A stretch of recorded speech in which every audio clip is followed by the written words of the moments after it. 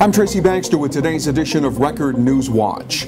He has his supporters, and they turned out to greet him as he headed into court. Washingtonville High School Principal Michael Rossi is named in charges and involved in an alleged inappropriate relationship with a 16-year-old student.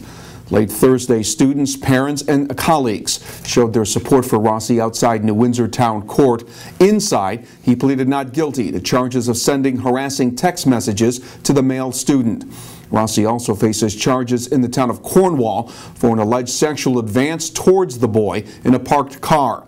Some of the students who showed up to support Rossi say he helped them turn their lives around.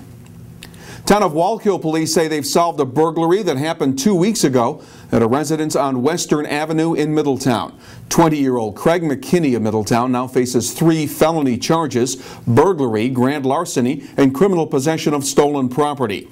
Police say jewelry and electronic equipment were stolen from the house. McKinney is being held on $10,000 bail pending a future court appearance. One of the hotter area political races will be in the spotlight tonight.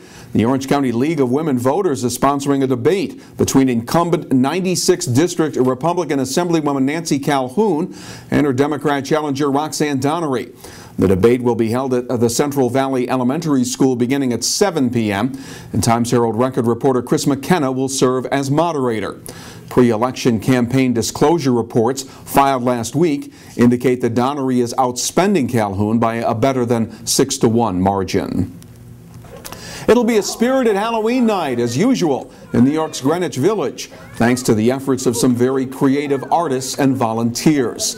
Last weekend, as in years past, they all gathered at the Rokeby Farm in the Dutchess County community of Red Hook to uh, rehearse with their creations that will come alive during the 38th annual Village Halloween Parade.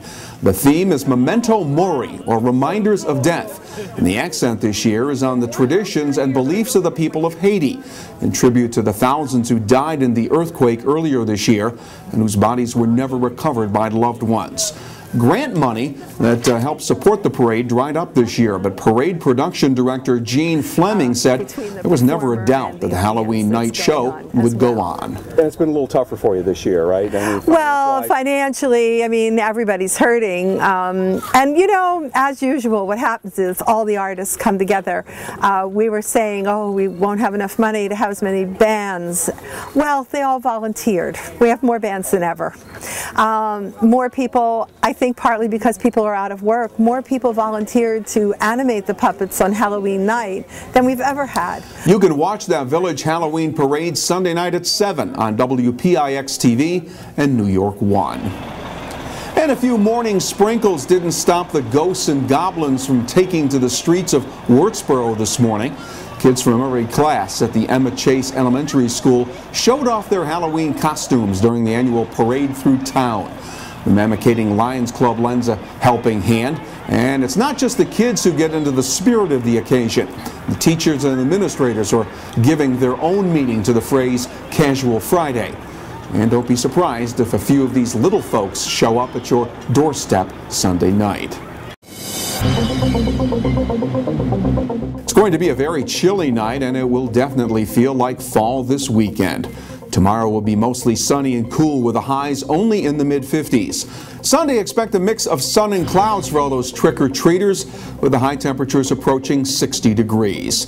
Stay on top of all the breaking news by making frequent visits to us here at Record Online. And keep track of all the news by picking up the weekend editions of the Times Herald Record. For Record News Watch, I'm Tracy Baxter.